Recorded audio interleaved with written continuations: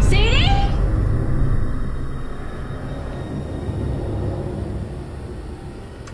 Sadie? Who was just out here with you? It was Piper, Mama. What happened? Did you see her? Who? Where did she go?